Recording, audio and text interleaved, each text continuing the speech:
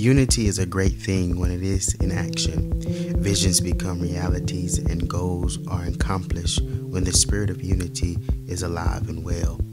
Since I was a child, I always been a part of three different communities, going to elementary and high school in East Knoxville while living and going to middle school in Fountain City and all the while attending church in Lonsdale. Being in such position, you can see and feel the jealousy, hatred, and misunderstanding between these communities. Expressing to my Gresham Middle School classmates in eighth grade my desire to go to Austin East would place a puzzled look on their face. They look at me as though I was confused about life and where I wanted to go in life. They would say to me that they would not go to the school, or even they say they won't go to that side of town unless they were forced to, simply because of the things that they heard about East Knoxville and the news about shootings and negative behavior. And I would ask myself, why are they belittling Austin East and East Knoxville so badly when there is so much history, culture, and honor?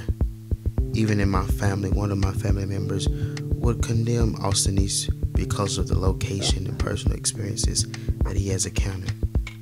When telling my high school classmates at AE that I go to church in Lonsdale, they would tell me that they don't go on that side of town, and my heart would be full, filled with sorrow because I see and hear Unity's heartbeat in distress slowly beating. Knowing that these communities all have the same problem, losing their children into violence and drugs, where poverty resides and strongly stands three different communities with the same problem, fighting each other and not the issue that we face and live every day.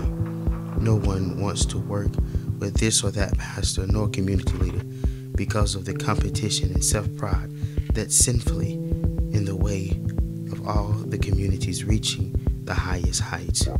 Lives can be saved, hearts can be mended, minds can be fixed if we can bring all communities together and stop repressing the heartbeat and let unity live